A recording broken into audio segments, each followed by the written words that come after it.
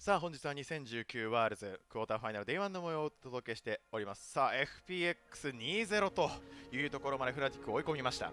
しかもフナティックの得意チャンピオンである T セットフェイトを使わせた上で、えー、叩き潰したという形ですから FPX としてはもうこのまま3-0でというような勢いに乗ってますよね。一方のフナティックとしてはネメシスの TF でここまでうまくいかないならどうするんだというような状況まで追い込まれてしまってますが。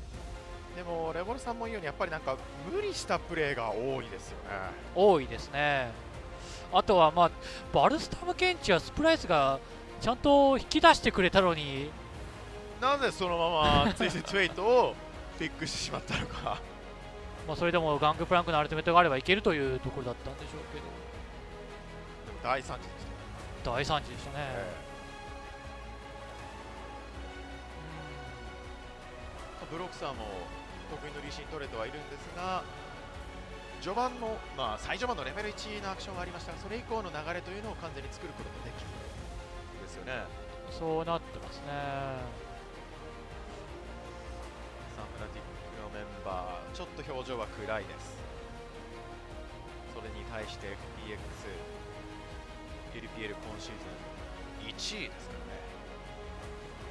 ここまでのところは本当にチームメンバー全員が素晴らしいプレーをした上で、えー、フナティックの狙いをしっかりと見極めた上でカウンターというのをゲーム2でできてましたから冷静にプレーできているなという印象がありますね。今のドゥインビーの表情を見る限りも、まあ、長州は非常にいいそしてチームの状況も非常にいいというのが伝わってきます。さあそれではゲーム3のドラフトを見ていきたいと思います。サイドの選択権。ファンプラスフェニックスが握っておりブルーサイドを選択しました。そしてレッドサイドがフナティックです。ドラフトはこうなるとかなり苦しいのかなと思いますが。そうですね。うん。やはり FX は明かりガングプランクは変わらずそしてそこで先ほどはグラガスでしたけどどう変えてくるかですね、まあ、ファーストピックで取ってもいいわけですがフナティックがまあザヤをバンしなかった。そこをどう取るかというところもありますがただこのゲーム1ゲーム2を戦ってきてフナティックとしては、まあ、バンしなければいけないチャンピオンも増えましたから。そうですね。パンテオン・キアナはここまでは1勝ですけど、えー、そしてゲーム1ではフナティックレネクトンをバンしました。ただライズどうするかですね。一応フナティックも使えますが。さあグラガスガングプランクの番に対してパンテオンキアナラストバンです。ザヤ。さあ現時点では、まあ、ライズが空いているわけですがあとレネ、まあ、カイサかレネクトンですね。いやそれでもいきますか。これフナティックとしてはカイサを取らせてトリスターナをカウンターで当てるというドラフトをちょっと狙っていたのような印象がありますから FX はわざとそこを避けましたそして相手にカイサ取られてもバルスタム検知がありますから問題はないという判断ですね素晴らしいさあそのままカイサをロックインすることになりそうです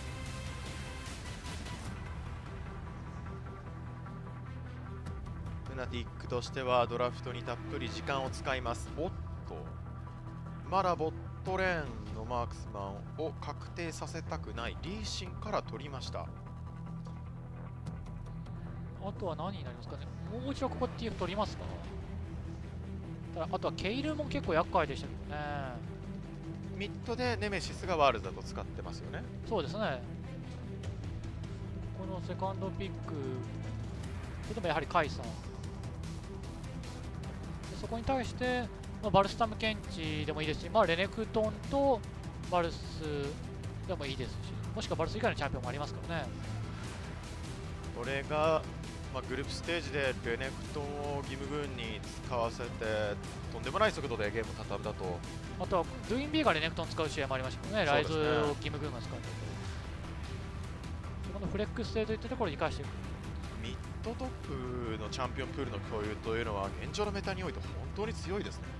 FX は今シーズンそれを意識的に取り組んできてましたからねあそしてエリスではなくレクサイリーシンのカウンターというところを前面に押し出していって相手のジャングルに対してプレッシャーをかけていくというような FX の選択になってますね。さあそしてフナティックのサードピック今まではここでツイセットフェイトを抑えていましたがおっと。ベイガライズの動きを封じ込んでいこうという狙いですね。まあ、グループステージを脱出するにあたってネメシスのベイガーが大きな役割を果たしたそして、まあ、フェイカーもソロキルしたというような戦いもありましたが。さあここからバンフェーズ2タムケンチラカンの番です。あとはモルガナですかねそしてフナティックとしてはフックチャンピオン、まあ、ノーチラスなんかが候補にはなってきますよね。そうなってくると思いますね、まあ、スレッシュパイクとかでもいいですし。そうなるとファンプラスフェニックスとしてはまあ消しきれないサポートのチャンピオンプールはフナティックにはある状況。おおベイン。あ LWX ベインは確かに使ってましたね。カイさんに対してベインというようなグループステージを見せていましたから。そしてここは B 一歩のあやってもパイクあなるほどフックチャンピオンの中でも得意チャンピオンをターゲットで消していきましたねで、まあ、ノーチラスかスレッシュ、あオーンでと、えー、レネクトンに当てていくようなイメージですかね。レネクトンがミッドに来たとしても、ベイガーであれば対応可能という判断かもしれませんが。オンにしました、ロックインです。サポートの可能性ももちろんありますね。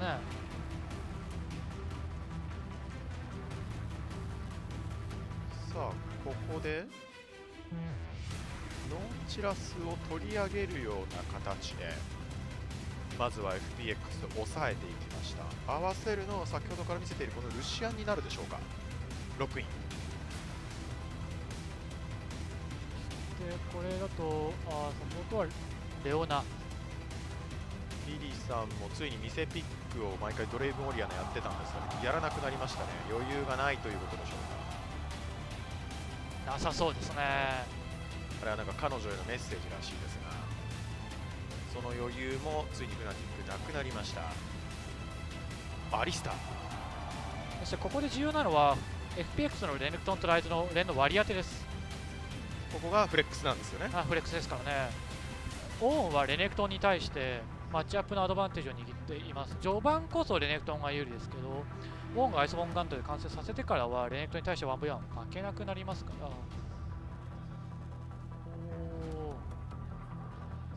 あとはミッドレーンのマッチアップ、これまでもまあケイルの試合は違いましたが、ドゥインビーがやはりロームをする、得意としているというところで、マッチアップ有利不利というのはかなり重要だということを話しましたが、ベイガーとライズ、どうなんでしょう？やはり序盤はライズの方が動きやすくはありますけど、ただロームするためにミニオンウェーブをプッシュしようとすると、ライズのマナが枯渇してしまうので、比較的イーブンに近いと思います。そして集団戦のパフォーマンスでいうと、ライズベタシケベタシメ、えー、メイジですから、ベイガーの E のゾーンコントロールというところはとても強力に作用しますね。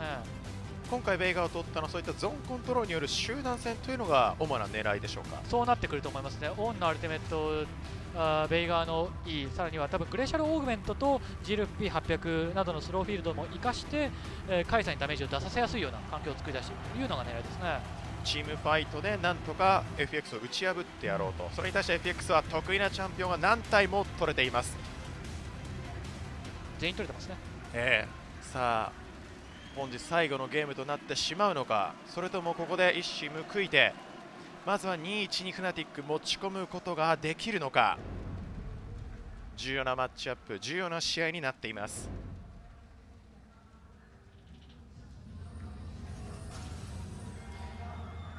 さあ始まりました。2019ワールズクォーターファイナル第1ワン。プラスフェニックス VS フナティックの試合。スタートです。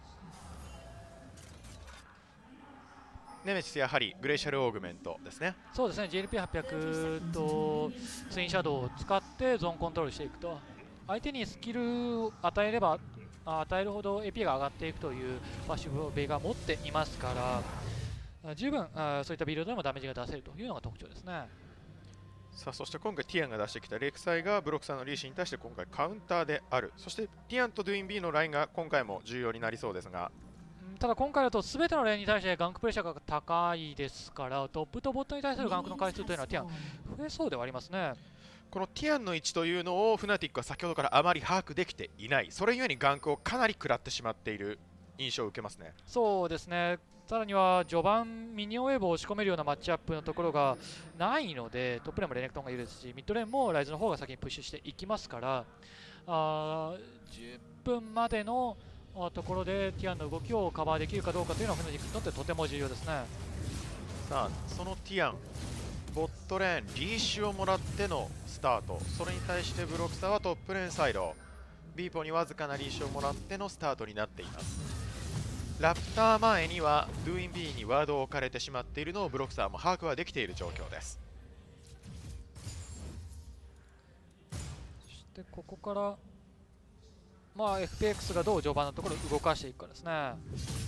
どのレーンにもキルプレッシャーがあります。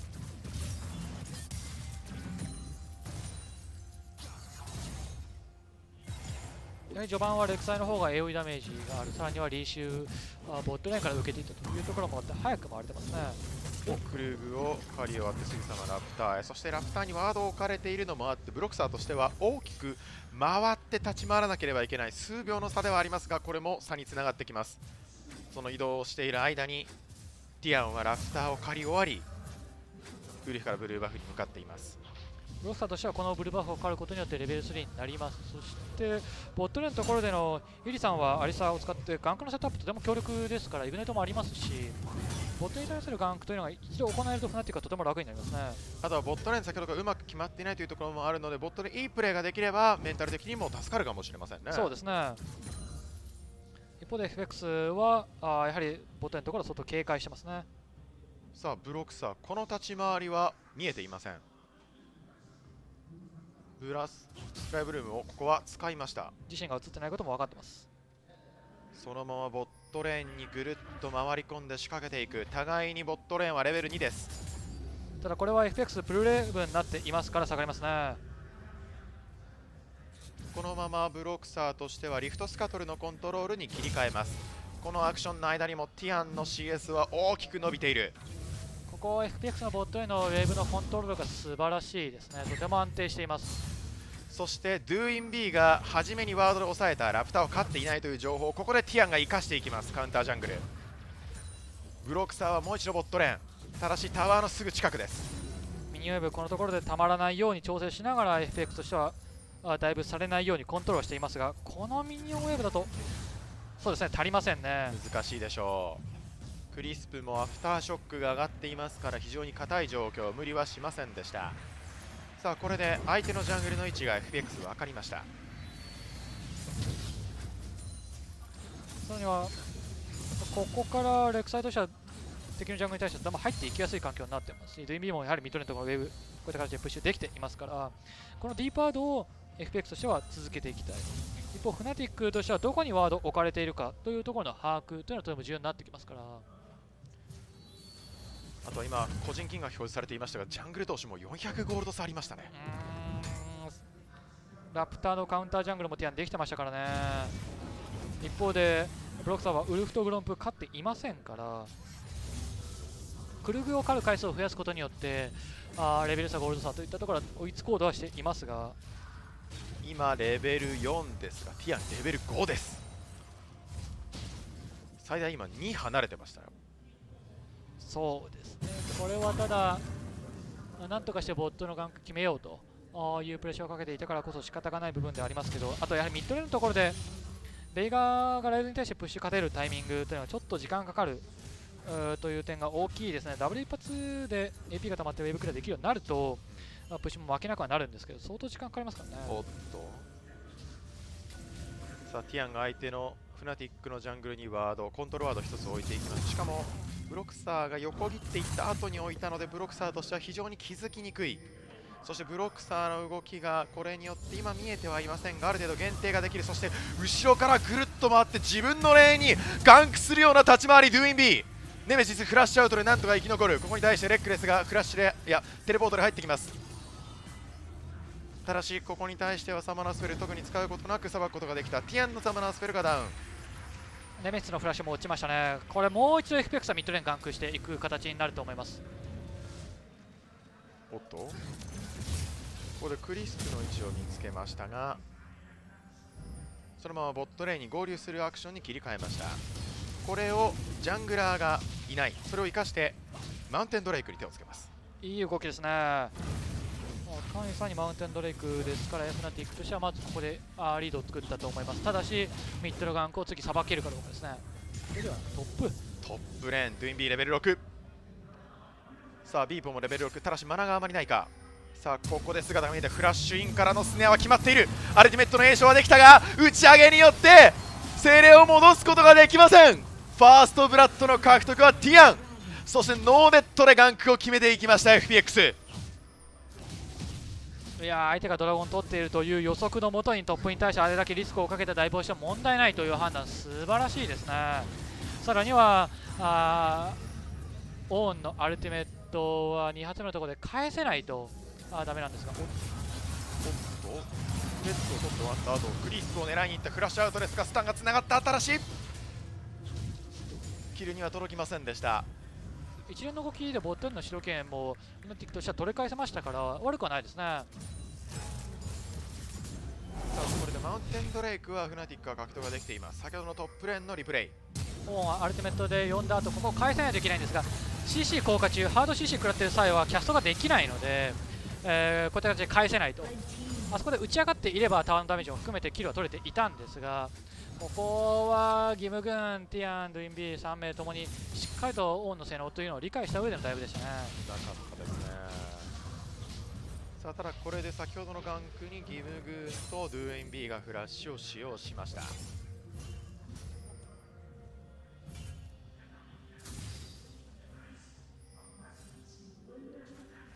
さあこれでファーストブラッドを獲得したティアンがウォーリアエンチャントまで完成。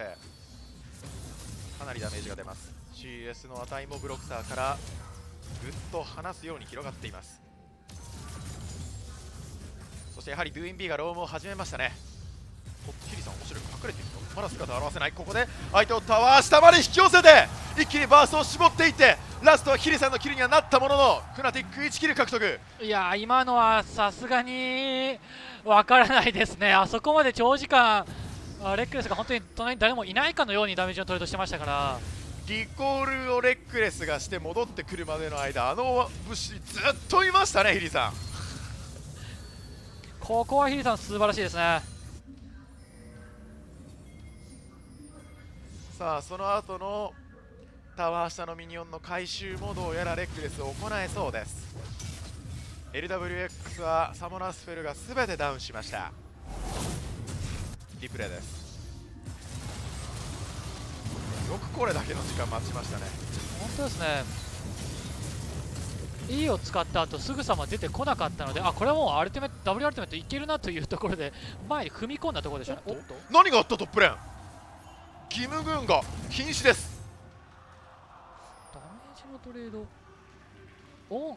これ B インポのアルティメットからですかねそのようですね。アルティメットはクールダウンになっていますから。ミニオンウェーブがアドバンテージ握れているタイミングで仕掛けたようですね。ただギムグーンはテレポートがあるので戻ってくることは可能です。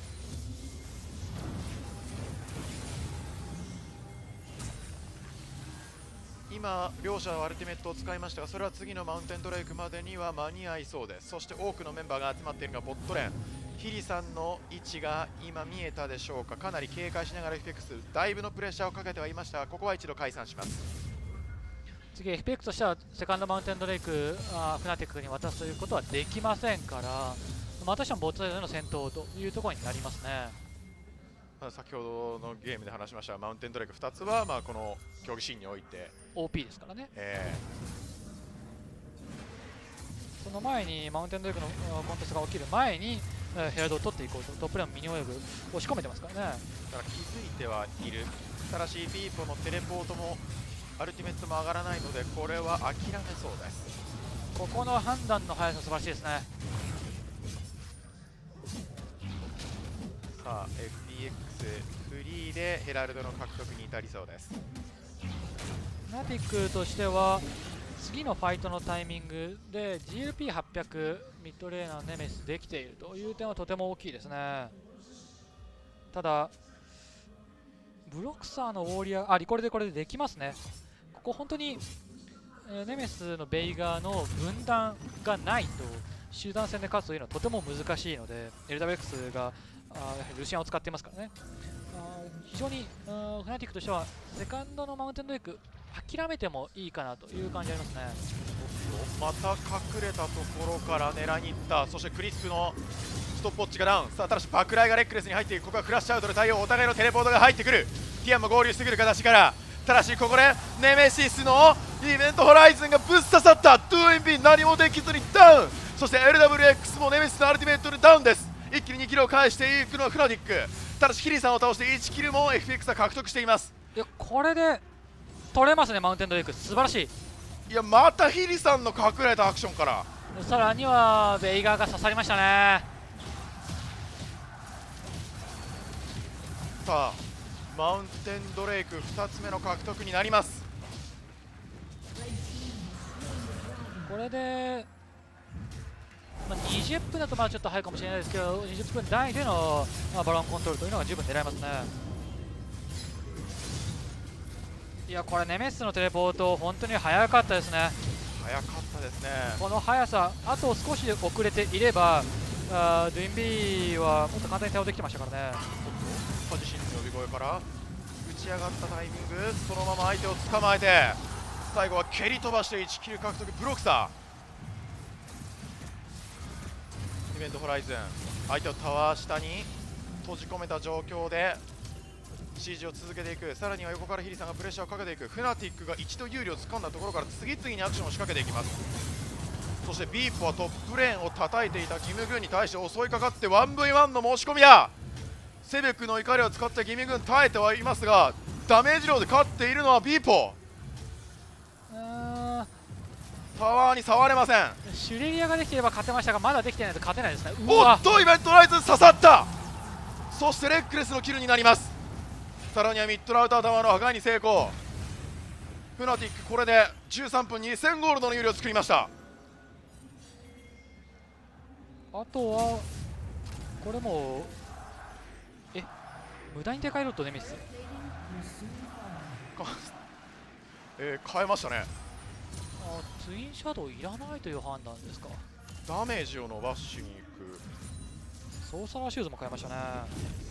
明らかにダメージを伸ばしに行ってますね。そうですね。そしてここ義務軍にゴールド供給して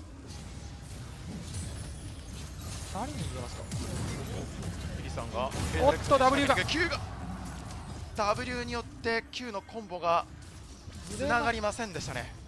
WQ 壁に打ちつけたはずがちょっとだけ、角度が悪かったですかね。えースライドしてましたね LWX がさあそれによってキルは取れませんでしたがタワーにはつながっています。お互いにトップのアウタータワーとボットのアウタータワー。タワープレートは7枚ずつですがチャンピオンに入ったかどうかで少し差があります。イベントライズン捕まえた。ただしクリスプここは耐えます。ネメシスのアルティメットが上がっていればキルが取れてましたね。いやーボットレーンのアクションから一気に流れ変わりましたね。大きく変わりましたね。あベイガーがこれだけ早くからあゲームに参加できるというところがとても素晴らしいですね。さ全くそのドゥインビーに仕事をさせてませんからね。それがベイガーのピックの狙いではあるんですけど。先ほどのリプレイもすぐ終わってしまったのでちょっと言い損ねたんですけどあのベイガーのテレポートがめちゃくちゃ速いという話したじゃないですか。あそこでドゥインビン用のテレポートワードが置いてあったのでおそらく FX としてはベイトに乗った上で叩き潰そうとしたんでしょうけどネメシスの反応が早かったからこそ成功しましたよね。そうですね。さあそしてここもローテーションからトップのアウタータワーつながります。またしてもイベントホライズン。ただしクリスプが後ろに隠れている。さらには LWX も構えています。次バンシー買わないとちょっと戦えないような感じはしますけどね。そこまでベイガーのこのスキルは効いているわけですが。聞いてますねあとは GLP800 のクールダウン上がるのが早い。早いですね。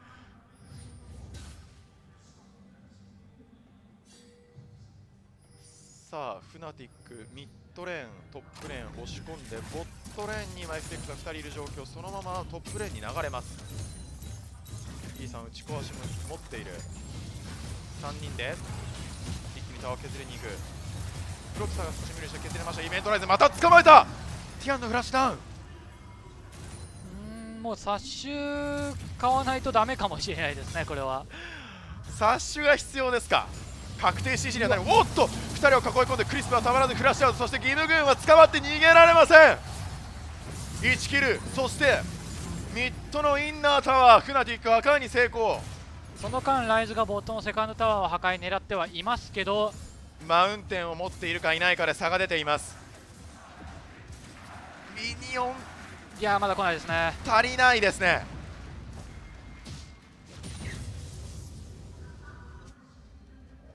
ネメシスメジャーです。順調ですね。魔法防御アイテム買わないと。この徹底してネメシスがこの火力を伸ばしにいっているのは何か理由があるんでしょうか？やはり捕まえてからのバーストダメージというところをちょっと足りない部分があったので伸ばしていきたいというところはあると思います。リシンがどうしてもファーム遅れていた分だけビルド差が今でもありますから。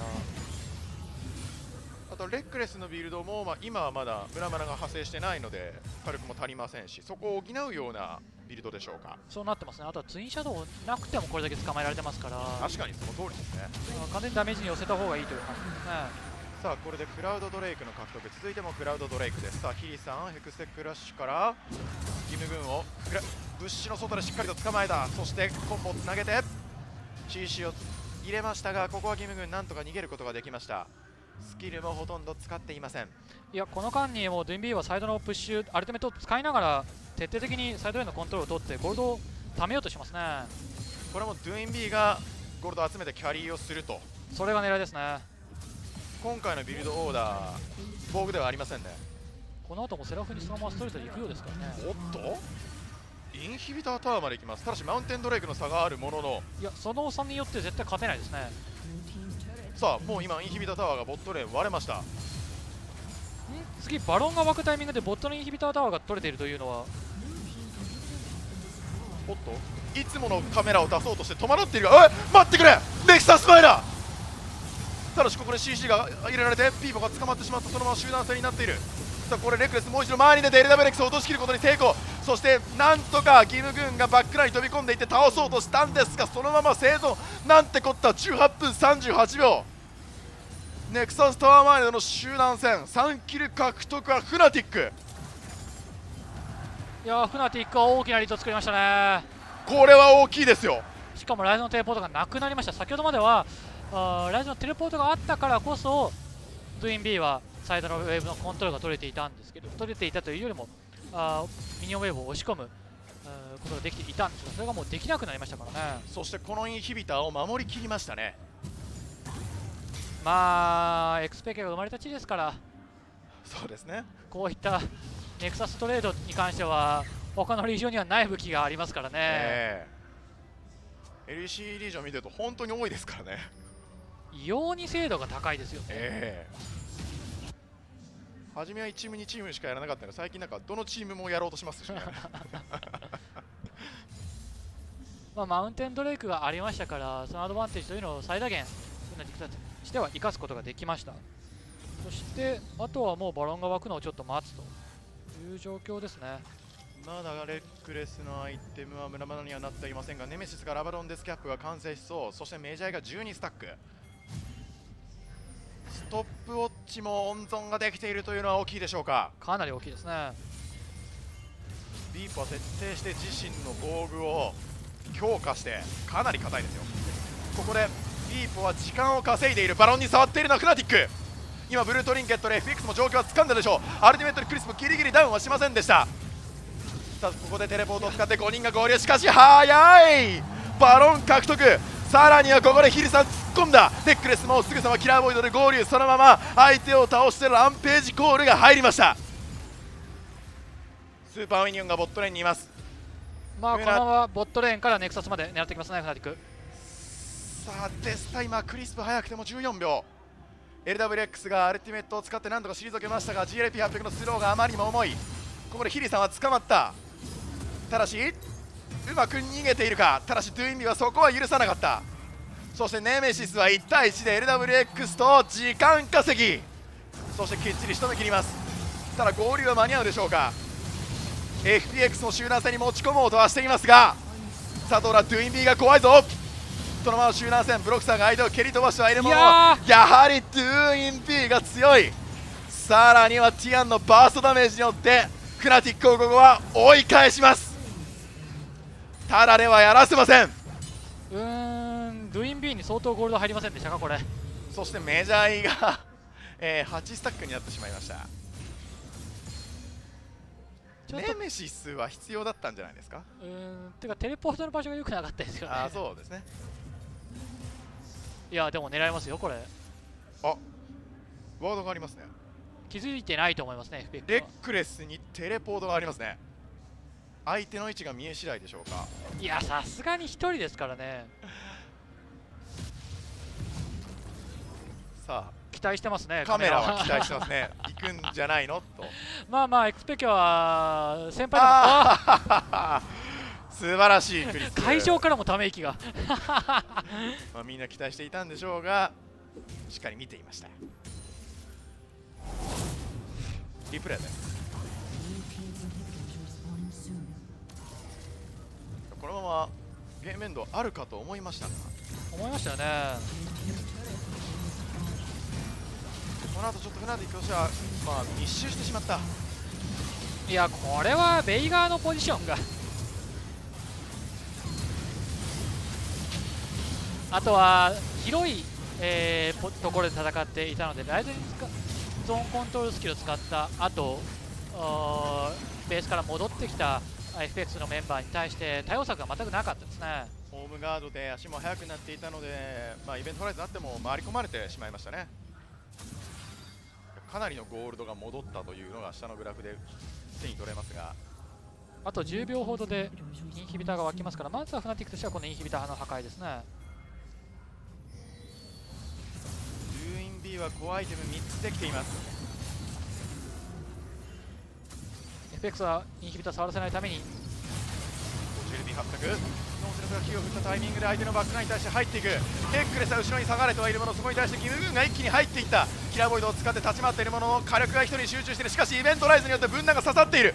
ただそこに対してもティアンがしっかりとアルティメットで飛び込んでいって1キロ獲得成功。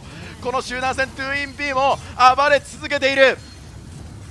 ピーポがなんとか立ち回ってはいますがガーディアンエンジェルがありますティアン。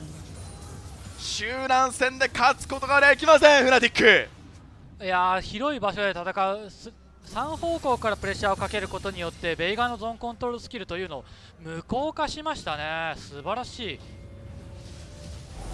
ギムグンの入ってくるポジションが見えてはいたんです。ワードをしっかりと置いてありましたからね、えただそれへのフナティックの対応というのが完全にバラバラになりましたね。カジシンの呼び声もクリスプに打ってますねそしてクリスプはライズのアルティメットのポータルに乗って前、えー、とレクレスの前に出てそしてフラッシュも使わずにアルティメットをレクレスそのまま打てたというところがとても大きかったですね。バックライン FX のバックラインがほとんどフリーの状況でダメージを出すことができました。先ほどのチームファイトのダメージ量です。ナティックとしてはそうですね、まあ、次のバロンまでちょっと我慢ですかね、バロン前であればこういった広さはないですから、ある程度限定できますし、ベイガーの強さといったのがよりはっきりできます、リバー周辺であればですかね、そこまでちょっとフナティックとしては落ち着いて、次の展開を狙っていくと。もうネメシスもメジャーのスタックが2しかありません。ただ帽子が強化されましたから。確かに。これは AP すごいことになってそうですね。ただご全体のゴールド的にはもし次 FX が勝てばひっくり返るでしょう。うんただそれでもオンのパッシブの分を考えるとフナティックがやはりゴールドのアドバンテージは大きく握っているという状況は間違いないですね。さあバロンが50秒です。スーパーミニオンはもうどのレーンにも湧いていません。ティアンの、がえー GA が落ちている間にフナティックとしてはバロンを取り切りたいですねあ確実に、バロンが湧いたタイミングガーディアンエンジンのクールダウン上がっていませんから。ワードが1本リバーの中に残っています FTX さあポータルを使ってプレッシャーが入ったドゥイミが最前線へ。カジシンの呼び声はどう入るか。ネメシスは体力が減りましたがクラッシュアウトでなんとかイノベルができてくれる。そしてレックレスはテレポートですぐさま寄ってきた。ギム軍がネメシスを狙いましたがその前にアルティメットでダウンだ。さあそしてヒリさんがグローリーを使って前に出る。それに対してクリスがフックを当てにいった。ネメシスもここで修羅戦になると思ってもう一度戻ってくる。さあ3人に打ち上げが入ってはいる。さらにはビーバー打ち上げも入れた。ただしバックラインまだ元気。レックレスこれ前に出て一気にダメージをフォーカスだ。クリスも落としきってレックレスが止まらない。ドゥーインビーのコンボは入って生き残りはしているものの生き残っているのは1人だけ。もう一度前に出てシャットダウンです。エース獲得はフナティック。今のところは非常にうまく仕掛けましたね。レックレスがいないのを見て仕掛けた。ただしそれでもしっかりと返して。さあここで2-1にもつれ込むことができました。勝利したのはフナティックです。一方向からの仕掛けであれば非常にうまく対応できていました。戦う場所を限定したというところはとても良かったと思います。あー最後のところもレネクトンがネメシスまで届こうとなんとか頑張ってええ。ブリンクスキルを使っていたんですがしっかりと回答してレネクトンを倒してそしてそこからの反転というのがしっかりとできましたね。ただそれでもドゥインビーのライズはとても怖かったですがいや最後もしかしたらあるんじゃないかと。9一発1つ外れていたところが当たっていたらちょっと違かったかなというシーンはありましたね。ただそれでもそのベイガーを使ってドゥインビーを途中まで簡単に封じ込めるというところがうまくできていましたから。次これフナティックがサイドの選択権あります。ドラフトのところのアドバンテージを生かして、え5ゲーム目まで持ち込みたいですね。流れとしては FPX はこのまま3-0で畳みかけてもおかしくないというようなゲーム展開そしてドラフトの流れも作っていましたがそれを断ち切るような一戦になったでしょうか？なったと思いますね。特にツイステッドフェイトを諦めてライズに対するターゲットであるベイガーあーカウンターであるベイガーをうまく運用したというところがとても大きかったですね。ネメシスのパフォーマンスが本当に良かったですねあのベイガーというピックは、まあ、シスフェイトはなれませんでした。ちょっとドラフトでの、まあ、脅威になる可能性っていうのはありますよね。ありますね。これでライズを開けるというところも可能ですし。ただ一方でライズがトップレーンに逃げた時にどうなるのかというところはちょっと出てきてはいますが。さあ先ほどのゲームのブレイクダウンです。それでも2万4000ダメージを出しているライズ。ちょっとその切り替えるのがドゥインビーとしては遅れたかなという印象があります。ベイガにやられたシーンが3回ありました。その3回のうち2回目で切り替えてサイドのプッシュというところでライズノースの、えゴールドを集めるレベルを上昇させるというところに集中できていればもしかしたら追いつけたかもしれなかったかなただそのフナティックの度重なるテンポの速い仕掛けというところに対して乗っかってしまったと。フナティックの圧力がとても高かったですね。まあ、途中ちょっとリプレイが追いつかないぐらいのテンポでこう攻め立て続けていましたよね。特にボットのインヒビター交換勝ちに行くというはい判断はさすが LEC のチームだという感じしましたね。見事でしたね。はい。さあこれによって BO521 の状況となりました。それでは続いてのゲーム4までインターバルとなりますので失礼いたします